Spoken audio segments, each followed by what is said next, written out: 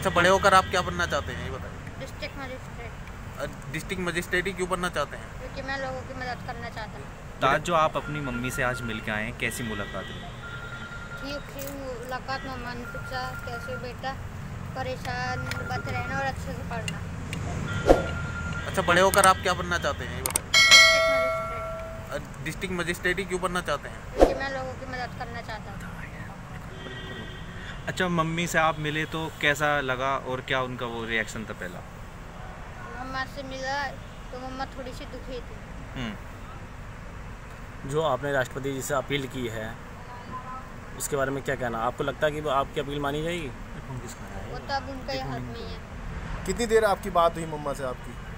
मेरी मम्मा से थोड़ी देर बात हुई फिर पापा मम्मा ने बात कही थी उनसे ज़रा। हम्म? फिर पापा मम्मा ने बात करी तो उनसे ज़रा। अच्छा और क्या कहा उन्होंने ऐसा आपसे क्या कहा? उन्होंने बस ये कहा कि अच्छे से पढ़ना। पढ़ाई पे ज़्यादा ज़ोर देनी के लिए।